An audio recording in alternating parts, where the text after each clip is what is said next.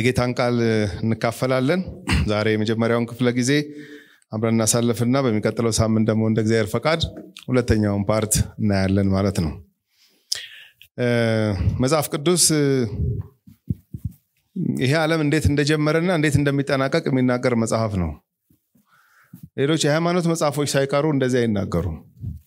certainty የላቸውም። ብዙዎቹ ብዙዎቹ ሃይማኖቶች ያያችኋቸው እንደሆነ ጅማሬው እንዲህ ነው ይሉ ይሆናል እንጂ ስለ ፍጻሜ በጣም clear የሆነ ነገር ብዙ አይናገሩም። ዞሮ ዞሮ ግን እግዚአብሔር የነገር ሁሉ አመንጪ እንደሆነ ምንጭ እንደሆነ ይናገራል። ሰውንም ጨምሮ ወደዚህ ዓለም exist እንድናደርግ የፈጠረ እግዚአብሔር ነው፣ ፍጥረቱን ሁሉ በሙሉ ማለት ነው። መጨረሻም ሁሉ እንዴት እንደሚጠናቀቅና ሁሉ ለማን እንደሚገዛም ይናገራልና አሸናፊው እግዚአብሔርን ብዙ ጦርነት እንዳለ መጽሐፍ ቅዱስ የጦርነት መጽሐፍ ነው። ከእግዚአብሔር ጋር ይጋጫል፣ ፍጥረት ይጋጫል፣ ነገስታት ይጋጫሉ፣ ብዙ ጦርነት አለ። ግን ደስ የሚለው በጌታ አሸናፊነት እንደሚጠናቀቅ መጽሐፍ ቅዱስ ይነግረናል። እስከ መጨረሻው ድረስ ስለሚሆኑት ነገሮች ከተናገሩ የመጽሐፍ ቅዱስ ጸሐፊዎች አንዱ ዳንኤል ነው። ዳንኤል የዓለም መጨረሻ ምን እንደሚመስል እንኳን ተናግሯል። ጌታ ኢየሱስ ክርስቶስ ማቴዎስ 24 ላይ ስለ መጨረሻው ዘመን ሲጠየቅ ዳንኤል እንዳለው ነው ብሎ ነበር refer ያደረገው። መጨረሻ ላይ እንደዚህ ነው የሚሆነው። እርኩሱ በመቅደስ እንኳን ሳይቀር የሚሰራውን ስራ እንደሚመስል በቃ ምልክቱ እነዚህ ሲሆኑ ነው ብሎ refer ያደረገው ጌታ ኢየሱስ ክርስቶስ አንዱ የዳንኤልን መጽሐፍ ነበር እና በዳንኤል መጽሐፍ ላይ የምናያቸው የተወሰኑ ሀሳቦች አሉ። ዳንኤል መጽሐፍ ላይ ብዙ ብዙ ገጸ ባህሪያታቸው በታሪክ ውስጥ involved የሆኑ ከእግዚአብሔር ውጪ ብዙ ሰዎች አሉ፣ ነገስታት አሉ። አንድ አይደለም፣ እየተፈራረቁ ባቢሎንን ሲያስተዳድሩና ሲገዙ የነበሩ ከዛ ደግሞ የሜዶንን ከዛ ፋርስን እያለ ነው እንግዲህ የግሪክ የሮማ እያለ የሚመጣው ማለት ነው የዓለም የመንግስት አካሄድ እና ነገስታት አሉ። እዚህ ግቡ የማይባሉ በጣም ምስኪን ሰዎችም ደግሞ አሉ እና በታሪክ ውስጥ የተሳተፉ በጣም ብዙም ባይሆኑ ብቻ ብቅ ብቅ የሚሉ ሰዎች አሉ። በተደጋጋሚ ከሚመጡ ሰዎች መካከል አንዱ ዳንኤል ነው። ቢ ትንቢተ ዳንኤል የተባለበትም ራሱ መጽሐፉ በዋናነት የእግዚአብሔርን አሸናፊነት የእግዚአብሔር መንግስት ሁሉን የምትገዛ መሆኗን ማሳየት ነው። ግን ደግሞ ዳንኤልም part ነበረው በዚህ መጽሐፍ ውስጥ። ናቡከደነጾር የይሁዳን ህዝብ ማርኮ ሰባ ዓመት ነው በባቢሎን ያቆያቸው። ሰባውም ዓመት ውስጥ ዳንኤል አለ። ሰባ ዓመት ጌታን ያገለገለ ሰው ነው ዳንኤል።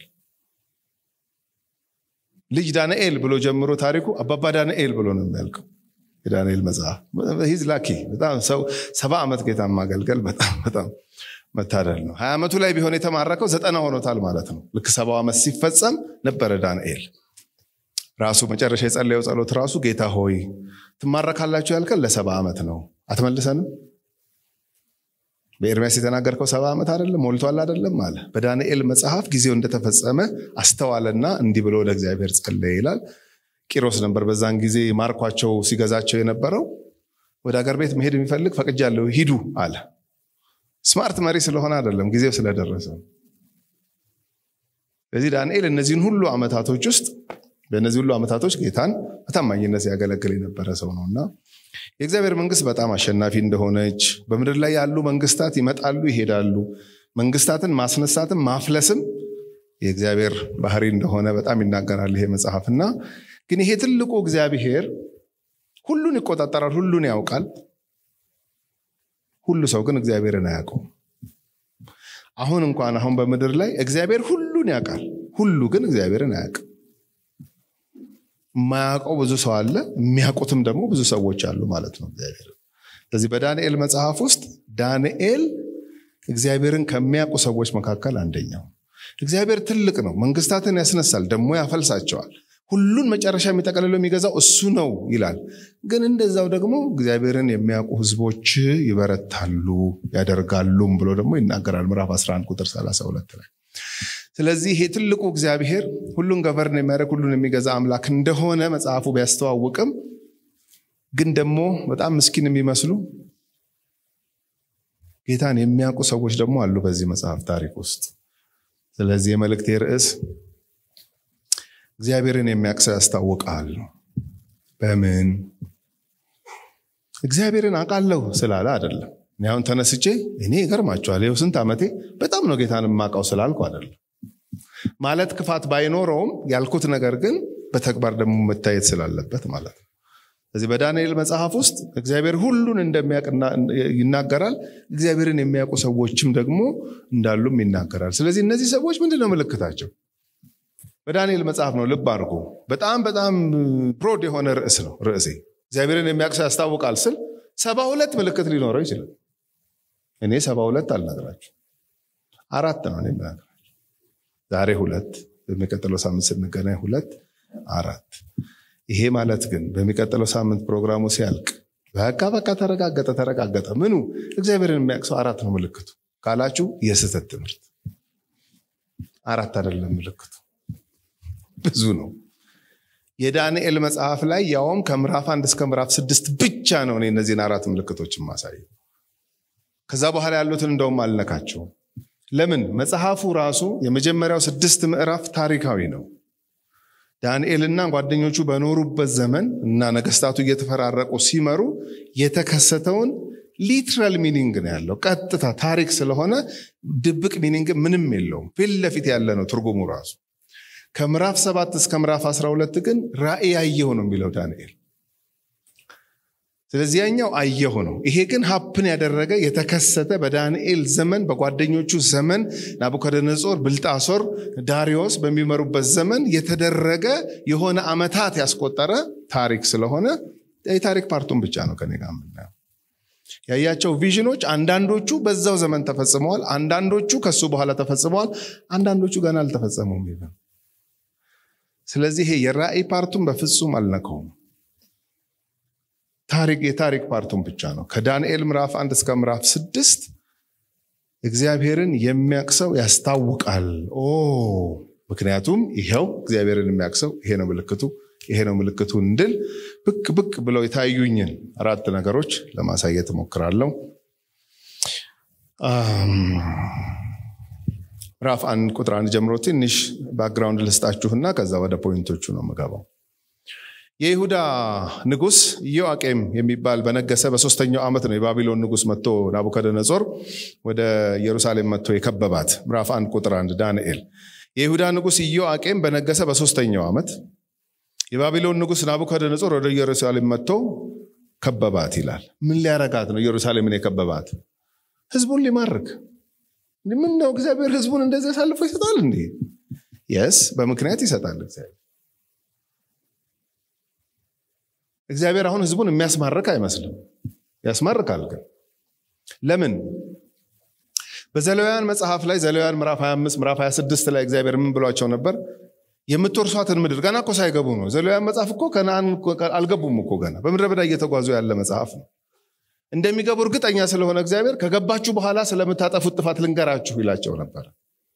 ምን ሲባል ምድሪቱን ሰባት ዓመት ካረሳችሁ ስድስት ዓመት አርሳችሁ ሰባተኛው ዓመት ላይ አሳርፏት። ሰንበት ነው። የምድርም ሰንበት አለ፣ የመሬትም ሰንበት አለ። ሰው ብቻ አይደለም ስድስት ቀን ሰርቶ የሚያርፈው ምድርም ትረፍ ብሏቸው ነበረ።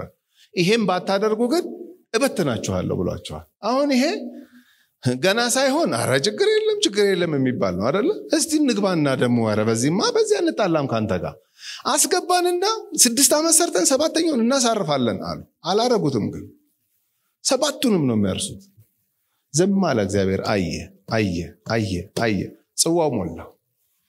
ከዛ ናቡከደነጾርን እግዚአብሔር ራሱን ያስነሳው ማርክልኝ አለው ይህንን ህዝብ ማለት ነው። ለምን? እግዚአብሔር ለቃሉ ታማኝ ስለሆነ። እበትናችኋለሁ ብሏቸዋል። በአሕዛብ መካከል በተናቸው እግዚአብሔር። በጣም ጨካኝ ይመስላል። ኖ አይደለም፣ ለቃሉ ታማኝ ስለሆነ ነው እግዚአብሔር። የእስራኤል ልጆች በምድረ በዳ እየተጓዙ እያሉ ከነአንን ትወርሳላችሁ ሲላቸው ከነአን ባዶ ሜዳ አይደለችም፣ ሰው ያለባት ናት።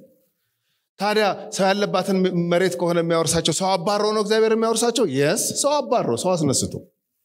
እንዲህ እኮ ማፈናቀል ነው። yes ማፈናቀል ነው። ሌላ ነገር ውስጥ እንዳከቱኝ። ማፈናቀል ነው። በትክክል ማፈናቀል ነው ያደረገው እግዚአብሔር። ባዶ ሜዳ ፈልጉና ከዛ እኔ ከዛ ዳር እስከዛ ዳር እሰጣችኋለሁ። ሰው ያለበት ፌሪዛውያን፣ ጌርጌሶናውያን በቃ እነዚህ ሰባት ምናምን ህዝቦች ማለት ነው አገሮች እነሱ እያሉ ነው እሰጣችኋለሁ ያላቸው። ለዚህ ነበር እኮ ሊሰልሉ የሄዱት ሰልለው ሲመለሱ አረረረ ሰው አለባት አሉ። ድሮስ እግዚአብሔር ባዶ ሜዳ ነው እንዲ ያለው ሰው ያለበት ምድር ነው እሰጣችኋለሁ ያላቸው። እነዚህ የመጀመሪያዎቹ ለምንድን ነው የሚባረሩት? ለምንድን ነው የእስራኤል ልጆቻችን ምድር የሚወስዱት? ምድሪቱን በጣዖት አምልኮ ስላጎሳቆሉ የእኔ የሚለው ህዝብ ገባና ደግሞ ምድሪቱን በጣዖት አምልኮ ሲያጎሳቁልና የሰንበት ረፍት አልሰጥም ሲል fair ስለሆነ እግዚአብሔር ለነዛ ያደረግኩትን እናንተም ላይ ያደርጋለሁ አለ። አለበለዚያማ የእግዚአብሔር ህዝብ ያልተባለ ምድርን ሲያጎሳቆልና በጣዖት አምልኮ ምድሪቱን ሲያረክስ አባሮ የእሱ ህዝብ ምድሪቱን በጣዖት አምልኮ ሲያረክስ ዝም ካለ እግዚአብሔር ራሱ ትክክለኛ ፈራጅ አይደለም ማለት ጉዳዩ እግዚአብሔር የእሱ ሀሳብና የእሱ ፈቃድ ይፈጸማል ላይፈጸምም ነው እንጂ የሆነ nation ጥምድ አድርጎ የሆነ nation ውድድ አድርጎ የሚሰራ አምላክ አይደለም። እግዚአብሔር የ justice ጉዳይ ነው። ስለዚህ ያኔ ከነአናንን አባሮ የሰጣቸውን ምድር እነሱ ምድሪቱን በሰንበት አላሳርፍ ሲሉና በጣዖት አምልኮ ሲያረክሷት ነቢያቱን ቢልክ አልሰማ ሲሉ አልሰማ ሲሉ አልሰማ ሲሉ አስነሳው ናቡከደነጾር ውሰዳቸዋል እንዲማረኩ አደረገ። ከበባት ኢየሩሳሌም። አይናቸው እያየ ፈረሰች። መቅደሱ፣ ቅጥሩ ምናምን እንዳልነበረች ሆነች።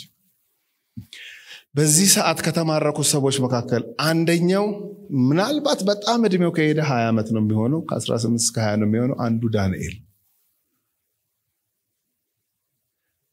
እየተማረኩ ነው። ግን እግዚአብሔር ፕሮግራም አለው ከተማረከ ህዝብ ጋር አሁን አይመስልም። ከሚማረክ ህዝብ ጋር እግዚአብሔር አብሮ ይሆናል፣ ፕሮግራም አለው። በቅሬታዎች እንደገና እግዚአብሔር ይሰራል ምናምን ብሎ ለመገመት በጣም አስቸጋሪ ነው። እዚህ መጥቶ ከበባት። ቁጥር ሁለት ጌታም የይሁዳን ንጉሥ ኢዮአቄምን ከእግዚአብሔር ቤት ዕቃ ከፍሎ በእጁ አሳልፎ ሰጠው። እርሱም ወደ ሰናኦር ምድር ወደ አምላኩ ቤት ወሰደው፣ ዕቃውንም ወደ አምላኩ ግምጃ ቤት አገባው። ንጉሱም ነውር የሌለባቸውና መልከ መልካሞቹን በጥበብ ሁሉ የሚያስተውሉትን እውቀትም የሞላባቸውን ብልሃተኞችና አስተዋዮች የሆኑትን በንጉሱም ቤት መቆም የሚችሉትን ብላቴኖች ከእስራኤል ልጆች ከነገስታትና ከመሳፍንቱ ዘር ያመጣ ዘንድ የከለዳውያንንም ትምህርትና ቋንቋ ያስተምሯቸው ዘንድ ለጃንደረቦቹ አለቃ ለአስፋኔዝ ነገረ። ንጉሱም ሶስት ዓመት ያሳድጓቸው ዘንድ ከዚያም በኋላ በንጉሱ ፊት ይቆሙ ዘንድ ከንጉሱ መብል ከሚጠጣውም ጠጅ በየዕለቱ ድርጓቸውን አዘዘላቸው። በእነዚህም መካከል ከይሁዳ ልጆች ዳንኤልና አናንያ፣ ሚሳኤልና አዛሪያ ነበሩ። የጃንደረቦቹም አለቃ ስም አወጣላቸው። ዳንኤልን ብልጣሶር፣ አናንያንም ሲድራቅ፣ ሚሳኤልንም ሚሳቅ፣ አዛሪያንም አብደናጎ ብሎ ጠራቸው። ምንድነው የሆነው? ልክ ሲማረኩ ናቡከደነጾር ከሱ በታች ያሉ ሹማምንቶችን አንደኛውን ጠራና ከተማረኩትም ከከለዳውያንም ደግሞ ከተማረኩትም ከይሁዳም ልጆች ከእስራኤልም ልጆች መካከል በዚህ በዚህ በዚህ መስፈርት በፊቴ የሚቆሙ ሰዎች ምረጥና መልምለህ ሶስት ዓመት training ይውሰደዋል። በፊቴ የሚቆሙ ሲል እንደ fashion show ምናምን እንዲሉ አይደለም፣ እንዲያማክሩት ነው። የንጉሥ አማካሪ ለመሆን ነው የሶስት ዓመት training የሚወስዱት። ስትመርጥ በዚህ በዚህ በዚህ መስፈርት ምረጥ ተባለ። ከተመረጡት ውስጥ ከተማረኩት መካከል አንዱ ዳንኤል ኳሊፋይ ያደርጋል መስፈርቱ። ሌላው ሶስቱ ጓደኞቹ ሲድራቅ፣ ሚሳቅና አብደናጎ ናቸው። የዳንኤልንም ጨምሮ የአራቱንም ስም ቀየሩት። በሀገራቸው ይሄ ስም ሲወጣላቸው የአራቱም ስም ከአምላካቸው ከእስራኤል አምላክ ጋር የተያዘ ታሪክ አለ። አንዱ እግዚአብሔር ሰጪ ነው ነው፣ አንዱ እግዚአብሔር ጸጋ ይሰጣል ነው፣ አንዱ እግዚአብሔር ፈራጅ ነው፣ አንዱ እግዚአብሔር ያድናል። ከአምላካቸው ጋር ይያያዛል ስማቸው። ልክ እዛ ሲገቡ ግን አይ ምናልባት አንዳንድ ጊዜ አንዳንድ ስም ለመጥራትም ሊያስቸግር ይችላል። ምናምን ኤል ምናምን ስለሚበዛው ለእኛ ቀለል የሚል ስም እናውጣ ብለው ሊሆን ይችላል። ከዛ በተጨማሪ ደግሞ እነሱ በሀገራቸው ከአምላካቸው ጋር የተያዘ ስም ከሆነ ያላቸው አሁን ደግሞ ከዚህ ሀገር አምላክ ጋር የተያዘ ስም እናውጣላቸው ብለው ሊሆን ይችላል። የሰው ስም መቀየር በጣም አለ መጽሐፍ ቅዱስ ውስጥ። እግዚአብሔርም የሰው ስም ሲቀይር እናውቃለን። በአዲስ ኪዳንም ጌታ ኢየሱስ ስም ይቀይር ነበረ። እነ ፈርዖንም የነ ዮሴፍን ስም ምናምን ቀያይረዋል ነበረ። ይሄ ዞሮ ዞሮ ግን እነ ዳንኤል ምንም ማድረግ አይችሉም። እነሱ ወደው አይደለም ስማቸው እንዲቀየር ያደረጉት። ምንም intention የላቸው ከስም መቀየር ጋር። ያ አለቃ ነው ስማቸውን የቀየረው እና ተማርከዋል። በዚህ ሁኔታ ውስጥ ነው ያለው። እነዚህ ሰዎች እድሜያቸው ገና ነው። ልብ አድርጉ። ሀያ ዓመት maximum ቢሄድ ሀያ ዓመት የሆነው ሰው እግዚአብሔርን ማወቁ በምን ያስታውቃል? እግዚአብሔርን የሚያውቅ ሰው አንዱ ምልክት ቁጥር ስምንት እምቢ የሚለው ነገር አለው። እግዚአብሔርን የሚያውቅ ሰው እምቢ ይላል። ለተጋበዘው ግብዣ ወይንም ከፊቱ ለመጣለት ነገር እምቢ የሚልበት አቅም የሚኖረው እግዚአብሔርን የሚያውቅ ሰው ለምንድን ነው ካላችሁኝ፣ ለእግዚአብሔር እሺ ስለሚል ነው። ለእግዚአብሔር እሺታ automatically ለሌላው እምቢታ ነው የሚሆነው። እንደው በጣም ከጠዋት እስከ ማታ አስቦበት እምቢ እምቢ ለማለት ሳይሆን ለእግዚአብሔር እሺ ሲል ወዲያው ለሌላው እምቢ ይሆናል ማለት ነው። ከእግዚአብሔር ውጭ ለሆነ ወይም ከእግዚአብሔር ፈቃድ ውጭ የሆነ ሀሳብ ላላቸው ምንም በቃ ያለምንም calculation እምቢ ሆኖ ይታያል ማለት ነው። የሀያ ዓመት ሰው ስ የሀያ ዓመት ሰው እግዚአብሔርን እንደሚያውቅ ያስታውቃል። የትኛውን ግብዣ ነው እምቢ ያሉት? እዚህ ጋር ይኸው ቁጥር ስምንት ዳንኤልም እንግዲህ ንጉሱ ምን ብሏል? ሶስት ዓመት training ሲወስዱ ልክ አሁን ይሄ እኮ ዩኒቨርሲቲ እንደመግባት እኮ ማለት ነው። እንደውም አራት ዓመት የነበረው ሶስት ሆኖ ነበር አደለ? ከ engineering ከምናምን ውጭ ያለው ሶስት ሆኖ ነበር። ተመልሶ ነው አሁን አራት የሆነው። እንደዛ ቁጠሩት። አሁን እኛ ሀገር 18 ዓመት የሆነው ልጅ 12ኛ ክፍል ሲጨርስ ለአራት ዓመት ወይም ለሶስት ዓመት ዩኒቨርሲቲ ሲሄድ እንደማለት ነው። እነዚህ ልጆች እዚህ እድሜ ላይ ነው ያሉት። ልብ አድርጎ ተማርከው የመጡ ሰዎች ናቸው። አገሩን አያውቁትም፣ ቋንቋውን አያውቁትም፣ ባህሉን አያውቁትም፣ ብዙ ነገሩን አያውቁትም። ስለዚህ ሲመለመሉ አለፉ። ሲያልፉ መጀመሪያ ቋንቋ ይማሩ ተባለ። ምክንያቱም የባቢሎን ቋንቋ ሌላ ነው፣ የሀገራቸው ቋንቋ ሌላ ነው። አሁንም ቢሆን ለምሳሌ ጀርመን ምናምን ለትምህርት የሚሄድ ሰው የመጀመሪያውን ዓመት ቋንቋ ነው የሚማር። ከዛ ነው ወደ ዲሲፕሊኑ የሚገባውና የሶስት ዓመት የአራት ዓመት ፕሮግራም እንትን የሚያደርገው። ልክ እነ ዳንኤልም እንደዚህ ነው የሆኑት። የማያውቁት ሀገር ነው deport ተደርገው የሄዱት። ባህሉን አያውቁም፣ ቋንቋውን አያውቁም። ስለዚህ ይሄን training ይውሰዱ። ከዛስ graduate ሲያደርጉ እኔ ጋር ይቀርቡና interview ይደረጋሉ። እኔን ለማማከር ጥበብ እንዳላቸው እውቀት እንዳላቸው በዛ ሀገር ደግሞ አስማተኛነት፣ ህልም መፍታት ምናምን ነበረ የንጉሥ አማካሪ ለመሆን የሚያበቃው። ስለዚህ ይሄንን check አረጋቸዋለሁ graduate ሲያደርጉ ብሎ አዘዘው ለኃላፊው። ታዲያ የሚበሉትና የሚጠጡት ይሄ ነው ብሎ ነግሮት ነበር። ከንጉሱ መብል ይብሉ፣ ቤተ መንግስት ከሚታረደው እንስሳ ከሚጠጣው ወይን ጠጅ በፍጹም እንዳይጎልባቸው ተብሎ ይሄ ተነግሯል። ዳንኤል ምናልባትም ጓደኞቹ አይሁዳውያን ስለሆኑ በሀገራቸው የሚበላ የማይበላ የሚል የምግብ ስርዓት አላቸው። አንዳንድ ምግብ ቢበሉ አይሁዳውያን ይረክሳሉ። አይደለም በብሉይ ኪዳን አዲስ ኪዳን ተሻግሮ እንኳን ጴጥሮስ አልበላም እስኪል ድረስ ያደረሰው አይሁዳዊነቱ። ምክንያቱም የዘሌዋውያን መጽሐፍ አንድ አይሁዳዊ ጴጥሮስ ያያቸውን እንስሳቶች ቢበላ ይረክሳል ስለሚል በዛ መገለጥ ነው ስቲክ ያደረገው ጴጥሮስ። አልበላም የሚለው ለዛ ነበር። ምንም እንኳን በአዲስ ኪዳን በመብላት መርከስ ባይኖርም የጌታ ኢየሱስ ክርስቶስ ትምህርት ስላለ ማለት ነው። አረ ሰውን የሚያረክሰው ይሄ አይደለም ብሎ ኢየሱስ ክርስቶስ እንትን ብሎታል ትምህርቱ። ግን ጴጥሮስ አይዶን ነው ያ መገለጥ ያልመጣለትም ወይም ደግሞ በምሳሌ እየተናገረው እንደሆነም ስላላወቀ ሊሆን ይችላል። አልበላም አልበላም ማለት ሶስት ጊዜ ድምፅ መጥቶለት ማለት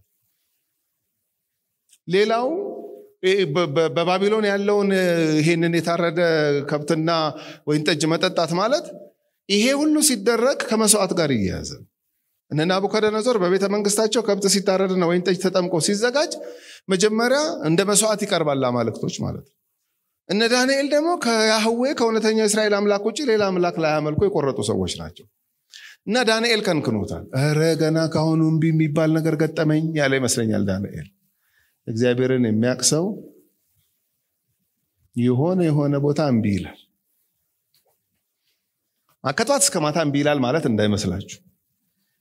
ይሁን እሺ ብለን የምንቀበላቸው ብዙ ነገሮች አሉን በምድር ላይ ስንኖር፣ ሁሉም ግን እሺ አይልም ማለት ዳንኤል ልክ ትእዛዙ ሲሰጥ ላለቃቸው ትእዛዝ ውስጥ ቋንቋውን እማራለሁ ችግር የለውም፣ ባህሉንም እማረዋለሁ ችግር የለውም፣ እቺ እቺ የምትበላውና የምትጠጣው ግን ከንክነኛለች አለና አቋሙን ሲገልጥ ተመልከቱ። ቁጥር ስምንት ዳንኤልም በንጉሱ መብልና በሚጠጣው ጠጅ እንዳይረክስ በልቡ አሰበ። ተንደረደረ ማለት ነው no ለማለት ይሄን okay፣ ቋንቋ okay፣ እንትኑ okay፣ እንትኑ okay እቺ ግን እቺ አለ። እግዚአብሔርን የሚያቅ ሰው አንዱ ምልክቱ ይሄ ነው። አሁንም አሁንም የሆነ የሆነ ቦታ በቃ ይላል።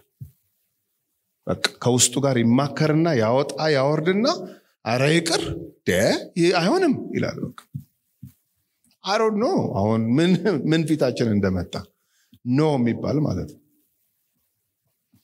ነፍስና ስጋችን እየተሟገተበት ያለ case አሁን እጃችን ላይ ሊኖር ይችላል። በፊታችን ፍጥጥ ብሎ የመጣ ነገር ሊኖር ይችላል። እንግዲህ ይኸውላችሁ እግዚአብሔርን የሚያውቅ ሰው አንዱ ምልክቱ በዚህ ቀን ነው የሚታወቀው። ሁሉን እሺ ብሎ አይኖርም።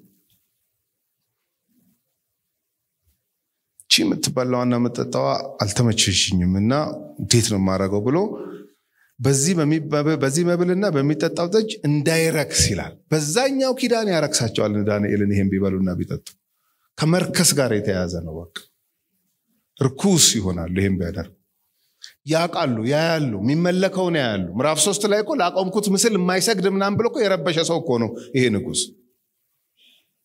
ስለዚህ የሚበላውና የሚጠጣው ከመብልና ከመጠጥ ያለፈ ነው። መጀመሪያ ለአማልክቶቻቸው ተሰውቶ ቀርቦ አማልክቱ ተቀብለውናል ብለው ምናምን ነው የሚበሉት የሚጠጡት። በነገራችን ላይ ይሄ በጣም የጥንት ታሪክ ምናምን የድሮ ብቻ ከመሰላችሁ አሁንም አለ። አሁንም አንዳንድ በዓላት ላይ ዝም ብሎ አይበላም። ሀገራችንም ማለት ነው። በዓል ነው ተብሎ እንትን ይደረጋል፣ ይታረዳል፣ ምን ይላል። ግን የሆነ ዛፍ ስር የሆነ ቦታ የሆነ ምናምን ቦታ መጀመሪያ ተሰጥቶት ነው ከዛ በኋላ ነው የሚባለው። ይሄን ለማየት በጣም ገጠር መሄድ አያስፈልግም። አዲስ አበባ ውስጥ የሚደረግበት አንዳንድ ቦታ አለ። እንደ መብል አይደለም። በዓላቱ ላይ እንደ መብል ብቻ አይደለም አንዳንድ እንትን የሚካሄደው ከዛ ያለፈ associate የሚያደርግ ነገር አላቸው። ስለዚህ ዳንኤል አሁን እንዳይረክስ ሲል አይሁዳዊ ስለሆነ ብቻ ለአይሁዳውያን ያልተፈቀደ የተፈቀደ በሚለው ምግብ ብቻ አይደለም ከጣዖት አምልኮ ጋር የተያያዘ ነገር ስላለው ነው። እና ይህንን አሰበ፣ just አሰበ። ከዛ እንዳይረክስም የጃንደረቦቹን አለቃ ለመነ ይላል። ይሄ አንድ step መሄድ ነው። አታቀኝም፣ ምርኮኛ ነኝ። ምርኮኛ ደግሞ ብዙ መብት የለውም። ግን አዳምጠኝ አለ። በቃ please አዳምጠኛል። እኔ አሁን ይሄን በመብላትና በመጠጣት ረክሳለሁ አለ እና please እንደ understand ካደረግከኝ case ኤን በልዩ መንገድ ብታይልኝስ ብሎ ለመነ። እግዚአብሔርም በጃንደረቦቹ አለቃ ፊት ለዳንኤል ሞገስንና ምሕረትን ሰጠው። ከሚጨክን ሰው ጋር እግዚአብሔር አብሮ ይወጣል። አሁን አንዱ ስጋት ይሄን እምቢ ብዬ ምን ሊውጠኝ ነው ነው። አስቡት፣ ይሄን የመሰለ ኦፈር መጥቶልኝ፣ ይሄን የመሰለ እድል መጥቶ አይኖ መንገዱ ጠማማ ነው፣ መንገዱ ልክ አይደለም፣ ለእኛ አልተፈቀደም ይሄ መንገድ። ግን ይሄን ይሄን ይሄን እድል miss አድርጌ ጎመን ልበላ አይነት ነው ጥያቄው። ጮማ መብላት የምንችልበት የተጣመመ በተጣመመ መንገድ ተሄዶ ጮማ ልንበላ የምንችልበት እድል ነው ከፊታችን የተቀመጠው። no ካልን ጎመን ልንበላ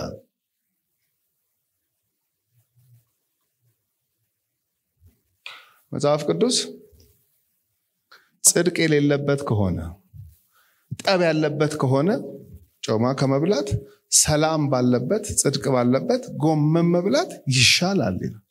ይሄ ማለት ጎመን መብላት በጣም አሪፍ ነው ምናምን ለማለት ሳይሆን wicked ነው፣ ያኛው መንገዱ ጤናማ አይደለም፣ ቢቀርስ ነው የሚለው።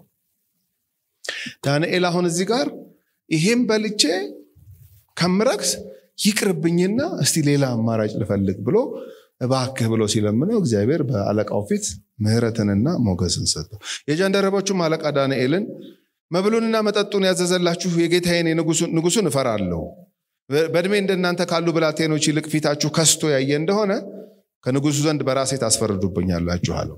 ማለት እኔን አደጋ ውስጥ ትከተኛለህ ዳኒ please፣ በእኔም ጫማ ውስጥ ሁንና ተመልከታ። አስበው አሁን የተመለመላችሁት በጣም ብዙ ናችሁ ለሶስት ዓመት training። ከነዛ መካከል አሁን አንተና ጓደኞችህ ምናምን ለይቼ አይ እነዚህ special case አላቸው ብዬ ኃላፊነቱን ወስጄ ንጉሱ ፊት የምትቀርቡለት ብላችሁ ብትቀርቡ በእናንተ ዳፋ እኔ ልደፋ አይነት ማለት ነው። በእኛ ሀገር እንትን ስታመጥ ለእኔ ማስቡልኝ አለ። ዳንኤል በጣም determined ስለነበረ ቀጥሎ ምን እንደሚል ተመልከቱ። ዳንኤልም የጃንደረቦቹ አለቃ በዳንኤልና በአናንያ በሚሳኤልና በአዛሪያ ላይ የሾመውን ሜልዳርን እኛን ባሪያዎችህን አስር ቀን ያህል ትፈትነን ዘንድ እለምንሃለሁ። የምንበላውንም ጥራጥሬ የምንጠጣውንም ውሃ ይስጡን። ከዚያ በኋላ የእኛን ፊትና ከንጉሱ መብል የሚበሉትን የብላቴኖቹን ፊት ተመልከት። እንዳየኸውም ሁሉ ከባሪያዎችህ ጋር የወደድከውን አደርጋለሁ። ይሄ ከባድ risk መውሰድ። እኔም ጓደኞቼም አንድ ነገር ነው የምንለምን። ንጉሱ በጣም የሚገርም ምግብ ነው ያዘዘልን።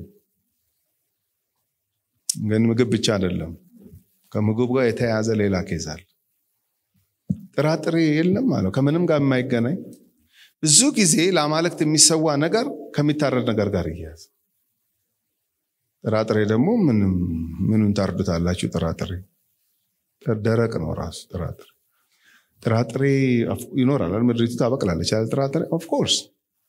እና ውሃስ? ውሃ የእግዜር ውሃ። በቃ? ጥራጥሬና የእግዜር ውሃ ስጠን በቃ? አስር ቀን check አድርገን። የሶስት ዓመት አይደለም። አስር ቀን check አድርገን። በአስሩ ቀን ከነሱ ካልተሻልንና ወይም ከስተን ምናምን ከታየን በቃ fail አድርጓል ማለት ነው የኛ እንትን። አስሩ ቀን ላይ ግን አይተህን በጣም ጤናማ ከሆነ ሶስት ዓመት በዛ ፕሮግራም ውስጥ እንቀጥላለን ብሎ ይሄንን እድል አቀረበ ምን ማለት ነው ባጭሩ ይሄንን እንኳን ሰውየው አላደርግም ቢል እንኳን እነ ዳንኤል እምቢ ብለው እንደሚቀጥሉ የታወቀ ነው በምን አወቅ? እሳት እስከ መግባትና አንበሳ ጎድጓድ እስከ መግባት እምቢ ያሉ ሰዎች እኮ ናቸው እነዚህ ሰዎች የሚቀጥሉት ምዕራፎች ውስጥ ማለት ነው። ስለዚህ እምቢ የሚሉበት ምልክት አላቸው።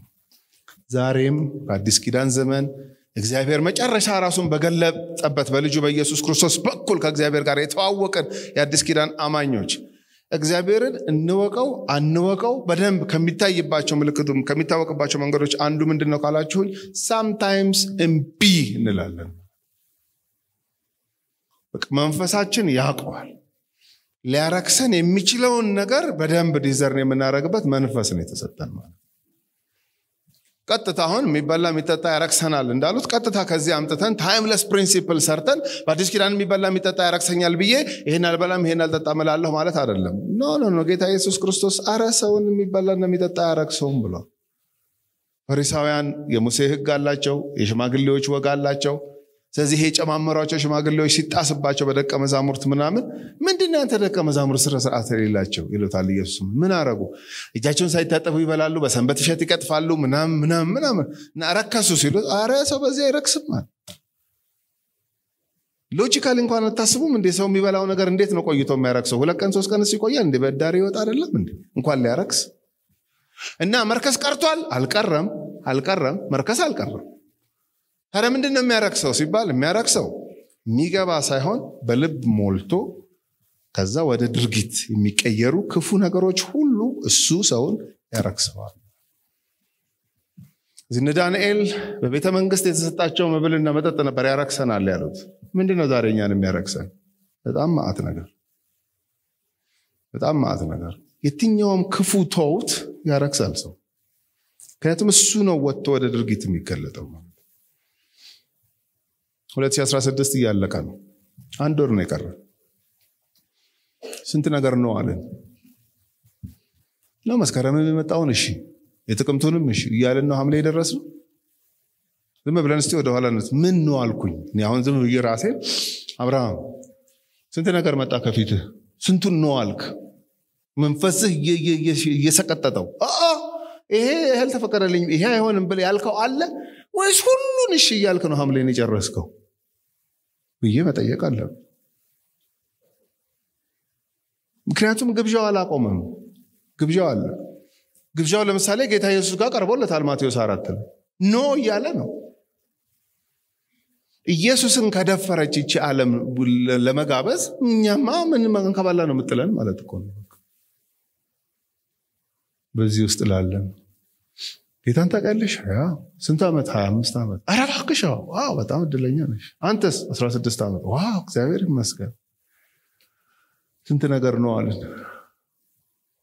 እስቲ ነፍሳችሁ የምትመሰክርላችሁ በቃ ማለት ምናልባት አንዳንድ ሰው ይህን የመሰለ እድል የሚሉት በዚህ ጋር ታጥፈህ እንዲህ ወደዚህ ጋር መድረስ ስትችል፣ ኧረ ማትረባነህ የምትባሉት የምንባለው ምን አለ የምንቆጥረው ይቅር በቃ ይሄ ይቅር ለእኔ ያልተፈቀደ እኔ እግዚአብሔር ሰው ነኝ። no ያልነው ምን አለ?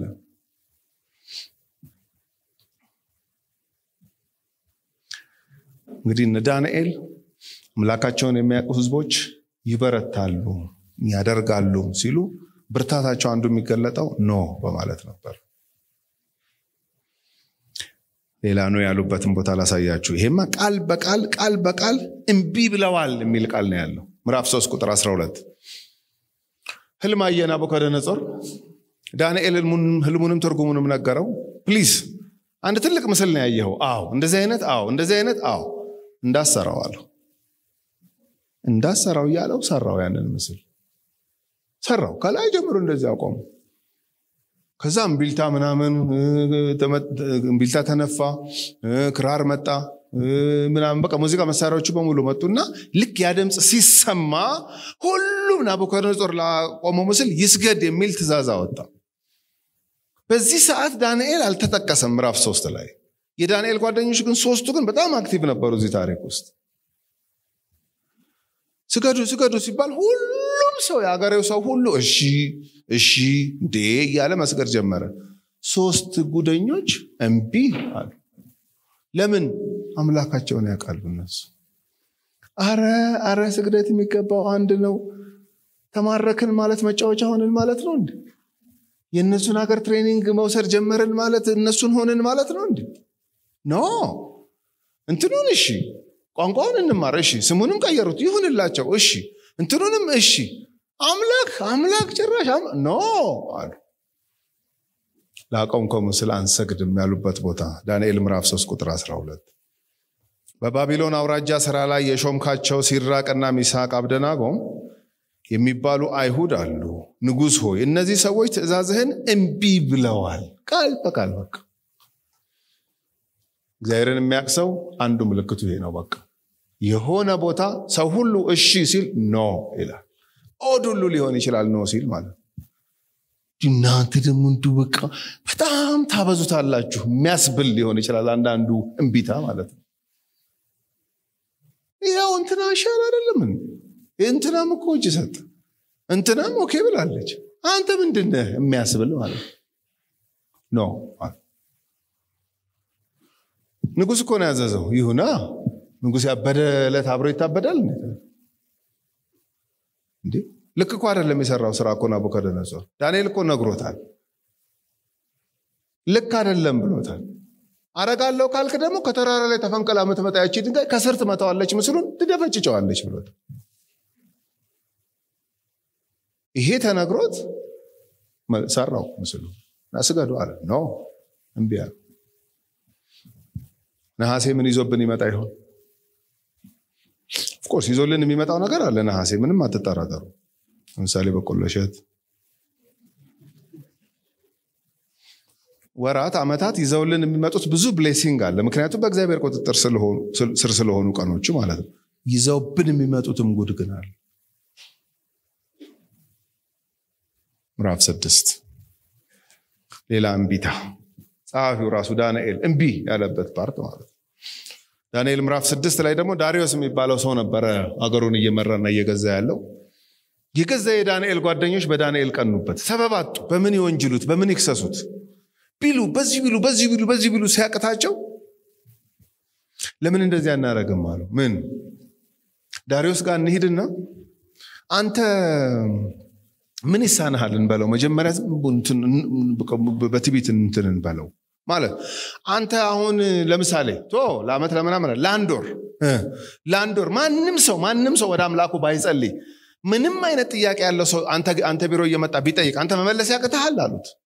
ምን አይነት ክፉዎች እንደሆኑ ሰውየው ያላሰበውን እኮ ብድግ አለና አያቅተኝም አለ እኮ ትመልሳለህ አይደል? አዎ። ታዲያ ለምን ሰው ይጸልያል? ወደ አምላኩ ለምን ይጸልያል? ወደ አንተ መጥቶ አይጠይቅም ተባለ። Yeah you're right። ምን አይነት smart idea ነው ያመጣችው? የሚገርም ነገር ነው። Yeah yeah እንስማማ እንስማማ።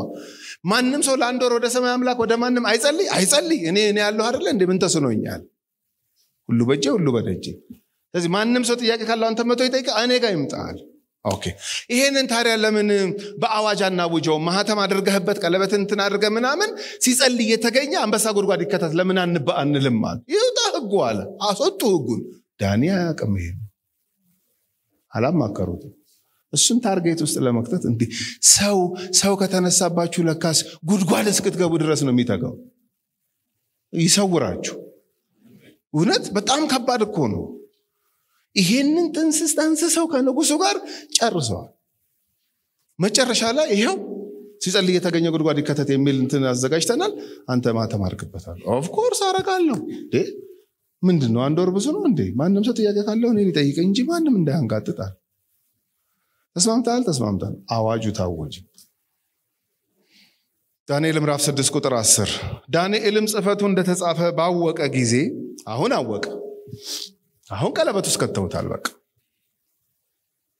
ባወቀ ጊዜ ወደ ቤቱ ገባ። እኔ ዳንኤል ላይ ያየሁት ነገር ምን እንደሆነ ታውቃላችሁ? የሆነ ወደ ቤቱ የሚገባው ነገር አለ። ብዙ መዘዝ የት ነው የመጣብን? ደጅ መዘዝ ቤት ውስጥ ብዙ የለም። በር በሚዘጋ ላይ ብዙ መዘዝ የለም። ብዙ case ደጅ ነው ያለው። ብዙ መጋለጥ ደጅ ነው ያለው። አሁን በዚህ ሰዓት እኮ ዳንኤል ወገቡን ይዞ መከራከር ያለበት ሰዓት እኮ ራሱ ንጉሱን ቁጭ አድርጎ ማለት ነው። ዳሪዮስ ጥያቄ አለኝ። ይሄንን ሁሉ ነገር ፈትፍታችሁ ስትወስኑ እኔን involve አድርገኸኛል። ለምሳሌ አሁን እኔ በዚህ እንትን አልስማማ። ልክ አይደላችሁም። የሰው መብት መከበር አለበት። በጣም ባለስልጣን ነው ዳንኤል። ልብ አድርጉ። ከነዚህ ከሶስት ሰዎች ጋር እኩል position ነው ያለው። ምን ማለት ነው ብሎ መከራከር ሲገባው እሱ ሌላ ነች መንገዱ፣ ልምዱ ሌላ ነች። በተቻለ መጠን ከቢሮ ቢሮ ከሆነ ቦታ ወደ ሆነ ቦታ ተሯሩጦ ነገሩን ማስቀየር ነው እንጂ ለሰው አይምሮ አሁን የሚመቸው በር ዘግቶ ወደ ቤት መግባት ሴንስ አይሰጥም።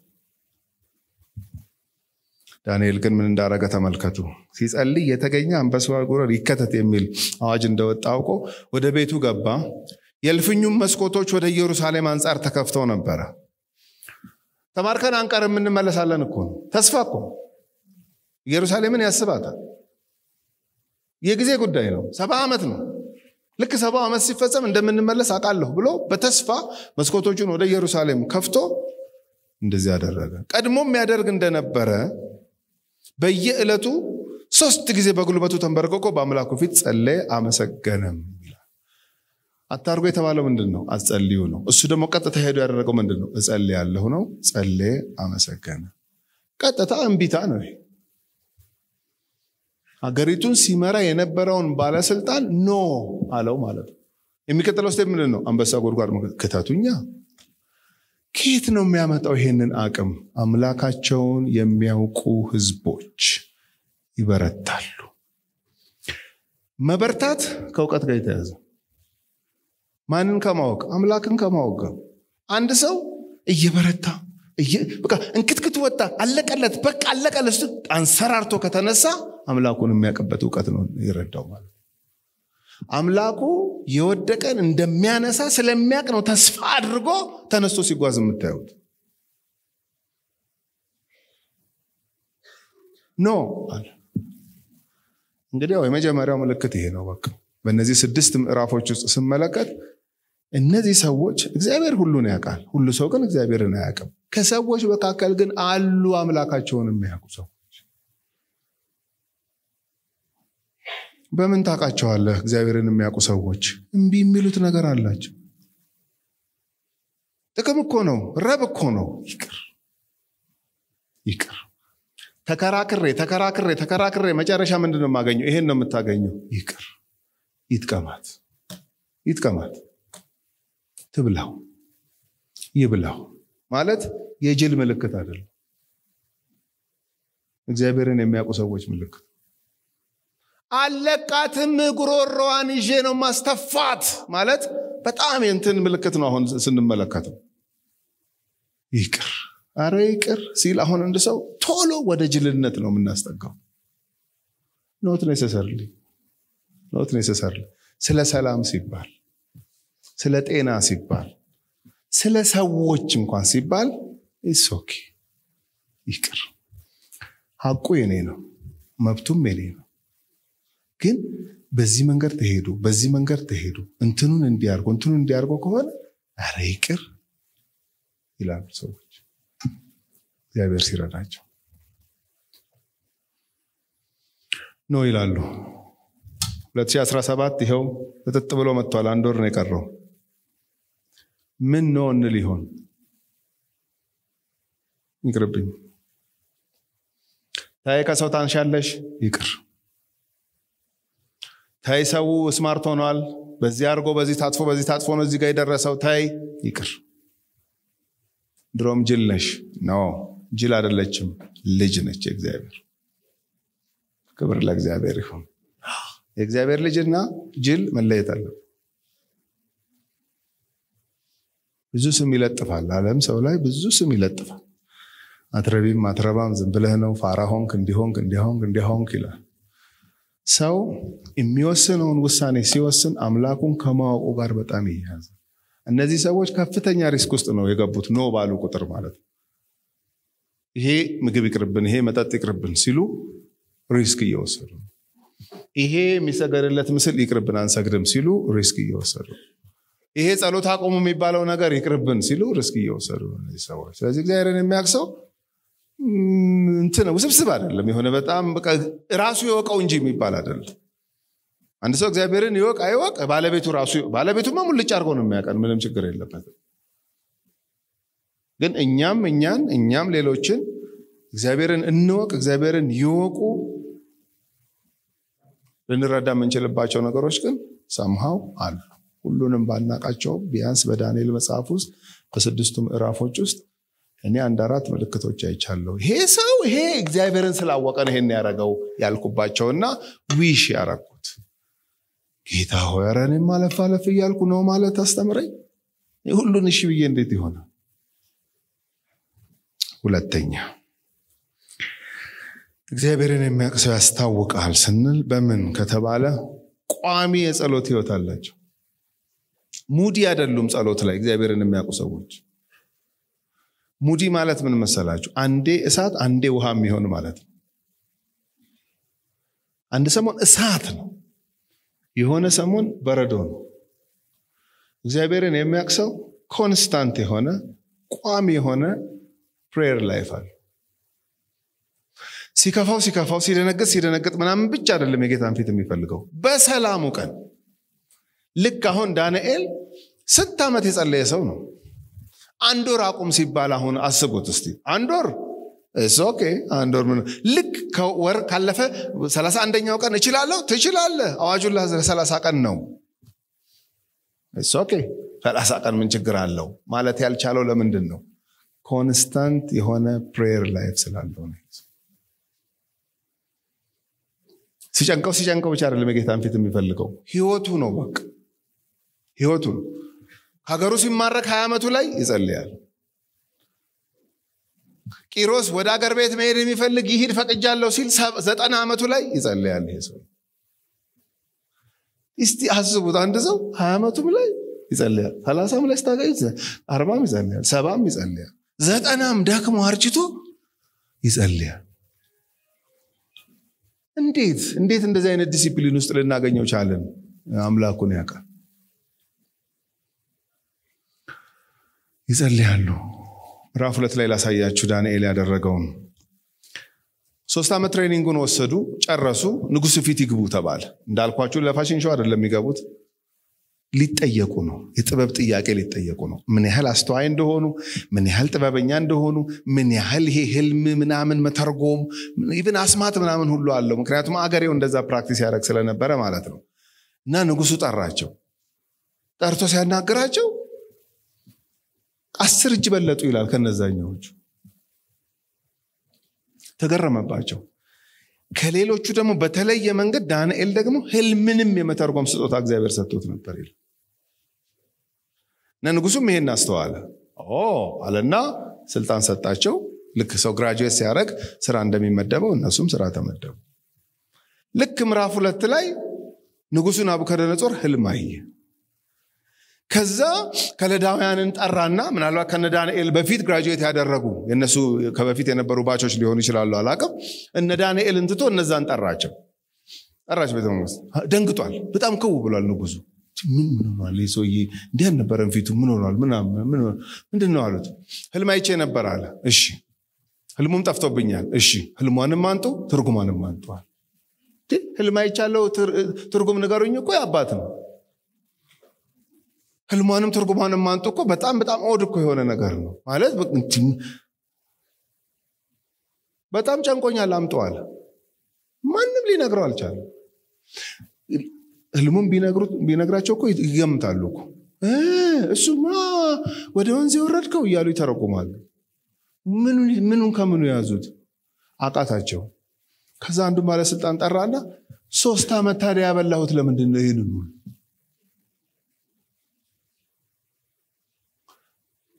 መግደል ጀምራል። ያሰለጠናቸውን ሶስት ዓመት አሰልጥኖ ያስመረቃቸውን ግደሉ ማለት ጀመር። ይሄ ወሬ እነ ዳንኤል ጋር መጡ። ልክ ዳንኤል ሲሰማ ይሄንን ምን እንዳደረገ ተመልከቱ። ምዕራፍ ሁለት ቁጥር 13 ነው 12 ነው ማነበው መጀመሪያ። ምዕራፍ ሁለት ቁጥር 12 ስለዚህም ንጉሱ ተበሳጨ። ህልሙንና ትርጉሙን ይነግረው ሲያጣ ማለት ነው። እጅግም ተቆጣ። የባቢሎንም ጠቢባን ሁሉ ያጠፉ ዘንድ አዘዘ ትእዛዝም ወጣ። ጠቢባንም ይገደሉ ዘንድ ጀመሩ። ተጀመረ ወረድ መደረግ ዳንኤልና ባልንጀሮቹም ይገደሉ ዘንድ ፈለጓቸው። ውሳኔው እነሱም ጋር መጣ ማለት የዛን ጊዜም ዳንኤል የባቢሎንን ጠቢባን ይገድል ዘንድ የወጣውን የንጉሱን የዘበኞች አለቃ አርዮክን በፈሊጥና በማስተዋል ተናገረው። ለንጉሱም አለቃ ለአርዮክ መልሶ የንጉሱ ትእዛዝ ስለምን ቸኮለ አለው። ይሄ አሁን በጣም በጥበብ መናገር ማለት ነው። ራፍም አይደለም። ይህ የማይረባ ምናምን አላለም። ኖ ንጉስ የማይረባ አይባልም። በፈሊጥ ነው የነገረው። እኔ ምልህ አለው አርዮክን ቀስ ብሎ እቺ ትእዛዝ ግን አስቦባት ነው ማለት ቸኮለች።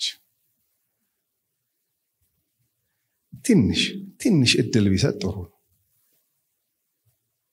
መአት ነገር እኮ invest አድርጎብናል እኮ አሰለጠንን፣ graduate አደረግን፣ ቤተ መንግስት ተጠራን፣ ያለንን wisdom ምናምን አየ፣ ጠየቀን፣ ሄዶ ወደ ስራ ተሰማሩ አለ። ያየውን ህልምና ትርጉም የሚነግረው ስለጠፋ በአንዴ እንደዚህ አይነት decision ላይ መድረስ ነበረበት። እንደኔ እንደኔ ይሄ ነገር ተቸኩለዋል ብሎ ቀስ ብሎ ነገረው። አርዮክም ነገሩን ለዳንኤል አስታወቀው። አይደለም እንዴት መሰለ፣ ጀጋ ሁላ እኮ ነው የተሰበሰበው። አንድም እኮ የሞከረ የለም። እንዲ አትፍረድበት፣ ንጉሱም እንደዚህ አይነት ውሳኔ ቢወስን አትፍረድበት ምናምን ብሎ ሊያስረዳው ሞከረ። ዳንኤልም ገብቶ ፍቺውን ለንጉሱ የሚያስታውቅበት ጊዜ ይሰጠው ዘንድ ንጉሱን ለመነ። እቺ የሚገባት ነገር ተመልከቱ። ይላችሁ አንተ አለው አርዮክን፣ አንተ ንጉሱን አረጋጋው ሂድና ለእኔና ለጓደኞቼ maybe የተረፉም ከለዳውያን ካሉ እነሱንም ሰብስቤ practice አድርገው የማያውቁትን ማለት እኮ ነው። አሁን ከለዳውያንን እንጸልይ ማለት እኮ የማያውቁትን ልምምድ ማለት ነው። ከሚሞቱ ቢያንስ ዳንኤል የሚለውን ሰምተው ቢጸልዩ ይተርፉ ይሆናል እንግዲህ ስለዚህ please ጊዜ ይሰጠኝ የማስታውቅበት ጊዜ ይሰጠኝ ብሎ ለመነ። ቁጥር 17 እና 18 የዚያን ጊዜም ዳንኤል ወደ ቤቱ ሄደ። ምን ሊያረግ? ሊጸልይ። ይቺ ወደ ቤት የሚሄዳት ነገር አለችው።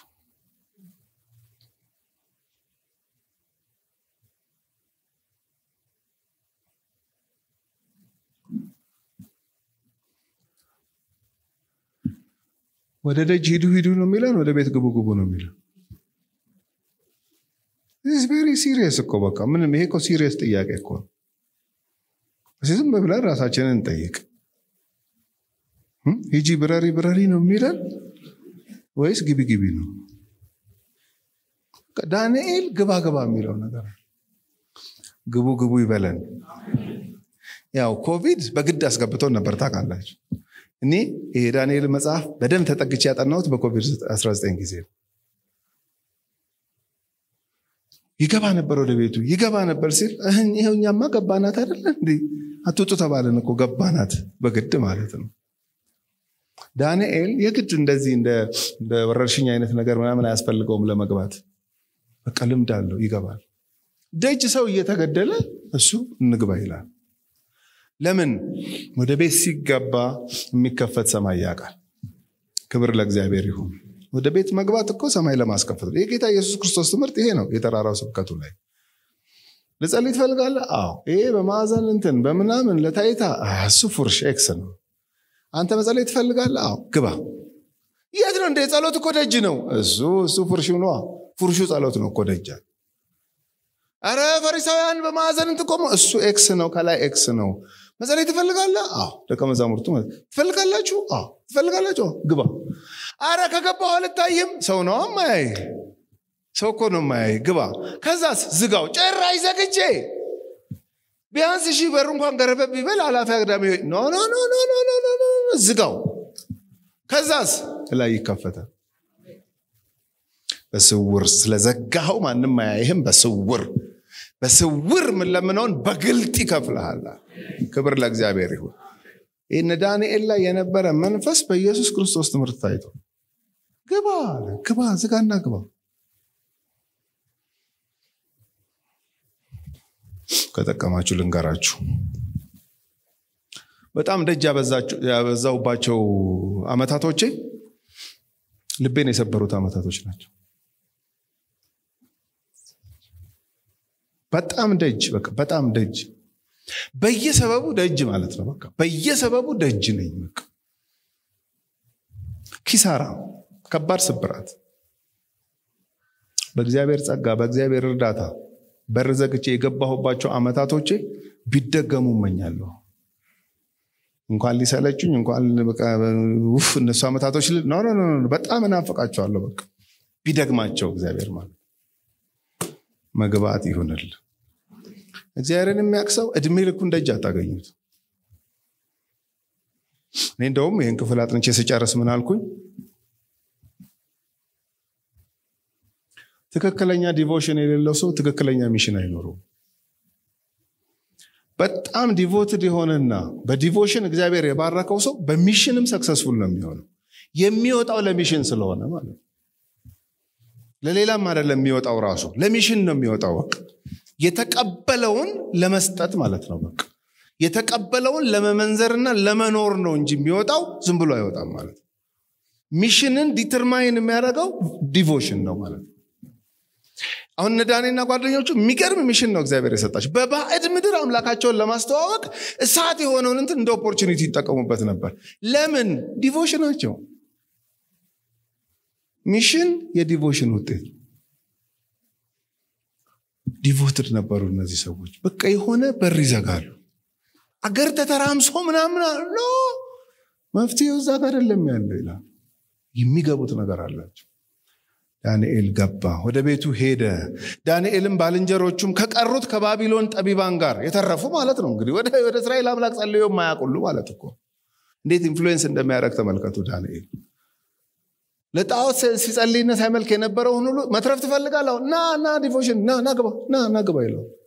ከተረፍክ okay፣ እንዴት ተተርፋለህ? ና ኧረ ሰውየው ይግደልህ እያለ ሰብስቦ ገባ። እንዳይሞቱ ስለዚህ ምስጢር ምሕረትን ከሰማይ አምላክ ይለምኑ ዘንድ ነገሩን ለባልንጀሮቹ ለአናንያና ለሚሳኤል ለአዛርያ አስታወቃቸው።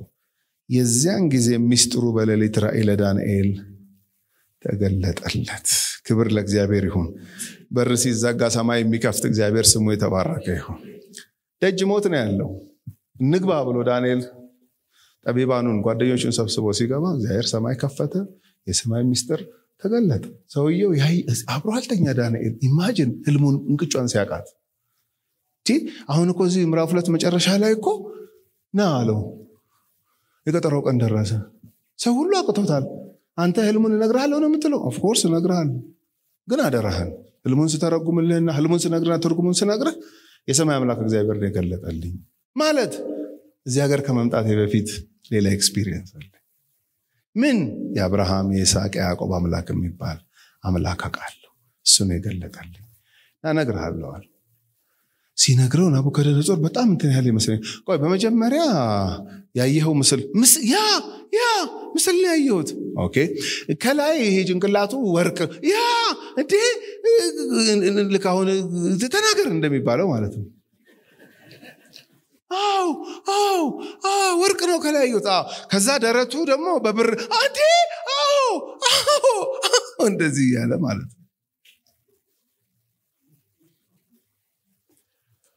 ይሄ ሁሉ የሆነው ግን በር ስለዘጋ እግዚአብሔርን የሚያውቅ ሰው እድሜ ልኩን ደጅ አታገኙት። አይወጣም አይደለም፣ ለ mission ነው የሚወጣው፣ ለስራ ነው የሚወጣው። በቃ ተልከዋል። ከወጣ impact አለ።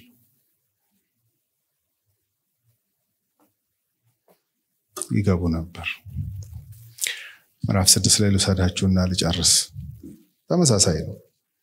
ደጅ አዋጅ ታውጇል። ደጅ ሞት ነው። ልክ የምዕራፍ ሁለቱም ሞት ነው የታወጀው፣ የምዕራፍ ስድስቱም ሞት ነው የታወጀው። ዳንኤል የጭንቅ ቀን ቤት የሚገባ ሰው እንዳልሆነ ያወቅኩት ለዚህ ነው።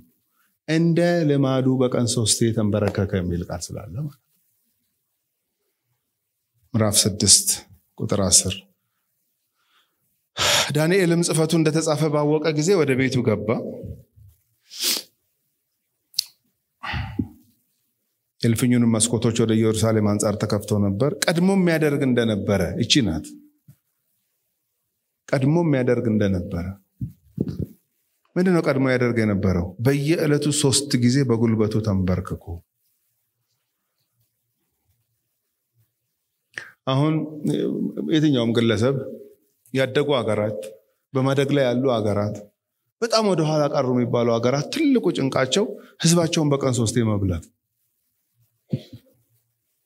አሁን እኔም በተቻለ መጠን እኔና ቤተሰቦቼ በቀን ሶስቴ እንድንበላ ነው የምሮጠው። ለምን? ሰርቫይቭ ለማድረግ ነው፣ በምድር ላይ ለመኖር በመንፈሳዊ ዓለምም ለመቆየትና ለመኖር ይሄው ነው principle ኡ። ዳንኤል በቀን ሶስቴ ይጸልያል። ደግሞ ተንበርክኮ ነው የሚጸልየው። የዳንኤልን ስልጣን እንዳንረሳ። ዳንኤል በጣም ዘንጦ በጣም educated ነው፣ experienced ነው በስራ የተወደደ የተመሰገነ ነው። እንከን የለሽ ሆኗል። already በዚህ ሰዓት ጓደኞቹ እሱን ጠላልፎ ለመጣል እንኳን ሰበብ እስኪያጡ ድረስ በጣም የሚገርም የህይወት እንትን ውስጥ ያለ ሰው ነው ይሄ ሰው። ይሄ ሰው ደጅ gentle ነው። ደጅ ስራ ቦታ ክቡር አቶ ዳንኤል ምናምን ተብሎ ነው እሱ ጋር የሚገባው ራሱ። በጣም እንደዚህ ነው life ኡ። ደጅ ነው ታዲያ ይሄ እቤት ሲገባም ልክ እንደ ደጁ አይደለም፣ ስብርብሩ ነው የሚወጣው በአምላኩ ፊት። ጀንትሉ ዳንኤል ነው የሚንበረከከው ቤት ሲገባ። አሁን አንዳንድ ጊዜ እንደ ደጁ እንደ ደጁ እድሜያችንን መፍጀት ነው የምንፈልገው። ይህ እንደ ደጁ ሁሉ ነገር እንደ ደጁ እንዲሆን ማለት ነው። አረለም ቤት የሚባል ነገር አለ። የጌታ ፊት የሚባል ነገር አለ። ይሄ ሰው በሚሽኑ በተልእኮ በደጅ የተሳካለት የሚሆነው ቤት ባለው መንበረከክ ደጅ አቶ ዳንኤል ነው ክቡር ምናምን ከፊቱ መዓት ስም አለ። ቤቱ ሲገባ ሚሽኑን ጨርሶ ስራውን አከናውኖ ቤቱ ሲገባ ግን በአምላኩ ፊት ሌላ ዳንኤል ነው። ስብርብር ልብሱን አወላልቆ ምን ብሎ ምን ብሎ እንደ ልማዱ በቀን ሶስት ጊዜ በአምላኩ ፊት ይንበረከካል። እኔ ትንቢት አልናገርም። ትንቢት የሚመስል ነገር ግን ልናገር እችላለሁ። አሁን ከተንበረከከ ስድስት ዓመት የሚሆነው ሰው ሊኖር ይችላል እዚህ ጉባኤ ውስጥ። ለምን እኔ እኔ ልንበረከክ የሚል ሀሳብ ውስጡ የያዘው ሰው ማለት ነው። ኧረ እኔ ድሮሽ አሁን ኧረ በእናትህ ኧረ ኧረ እኔ እኔ አልንበረከክም የሚል ሰው ሊኖር ይችላል እዚህ ጉባኤ ውስጥ። እግዚአብሔርን የሚያውቅ ሰው ግን ይንበረከካል። አሜን። ዳንኤል ይንበረከክ ነበር። መንበርከክ ምን መንበርከክ ቁም ነገር ነው እንዴ? ልቤ ይንበርከክ እንጂ ምናምን የምትሉኝ ሰዎች ካላችሁ መንበርከክ ብርቅ ነው። ወንድም አብርሃም አትዳፈር ብርቅ አይደለም። እዳፈራለሁ መዳፈር ከመሰላችሁ ብርቅ ነው መንበርከክ። ለምን መቆም is very normal። አሁን እኔ ቆሜ ያለው እናንተ ቁጭ ብላችኋል። እንዲህ ቆመ ያለ አንድ ሰው የለም። መቆም ምን መቆም መቆም ምንድን እናንተ ስለተቀመጣችሁ ምንም መልክ እንትን አላደረግም odd አልሆናችሁብኝም። of course ተቀምጣችሁ ነው ልሰሙኝ የምትችሉት። በዚህ ሰዓት የተኛ ሰው አለ። ስለተኛ ምናምን ቤት ምናምን አሁን ስገባ ተኝቶ ባገኛቸው ቤተሰቦች እንዴት ተኛሽ? አልልም ይተኙ እንጂ። እየመሸ እኮ ነው ይተኙ። እየሄደ ያለ ሰው አሁን ፕሮግራም አልቆ ስንወጣ እየሄደ ያለ ሰው ትሄዳለ ትገርማለህ አይባልም። ሂድ ነው የሚባለው እንደውም። ሂድ ሂድ ላሳልፍ ሂድ ሂድ ነው የምንባለው። መንበርከክ ግን ከዕለት ተዕለት እንቅስቃሴያችን ወጣ ያለ experience ማለት ልክ አንድ ሰው ተንበርክኮ ካያችሁት ክው ነው የምትሉት። ውይ ምን ነው? ወድቆ ነው? አይ አልወደቁ ምን ሆኖ ነው? በዚህ ምክንያቱ በዚህ ምክንያቱ okay። በተለይ ሊጸልይ ምናምን ከሆነ ብዙ እንደ am sorry የረበሽኩ ይቅርታ ምናምን ነው የምንለው ለምን? ከተለመደው የዕለት ተዕለት እንትናችን ወጣ ያለ ነገር ነው ያደረገው ማለት ነው። መንበርከክ የ submission ምልክት ነው። የመማረክ ምልክት ነው። በጦር ሜዳም ብትሄዱ በጸሎትም ቦታ ብትሄዱ የመንበርከክ ምልክት ነው። የመሸነፍ ምልክት submit የማድረግ ምልክት ነው። አልችልም እኔ። ካልረዳኸኝ በስተቀር እኔ አልችልም። ይህን mission መወጣት አልችልም አቅም የለኝም የማለት ምልክት ነው እነ ምን ይሳነዋል አይንበረከኩም። አይንበረከክም በቃ። no። ለምን? ምን አንበረከከኝ? ምን የማቀው duty ነው። በየቀኑ የምሰራው ስራ ነው። ይሄ እንትኑ ነው ይሄ እንትኑ ነው ይሄ እንትኑ ነው። ምን ምን ያስፈልጋል?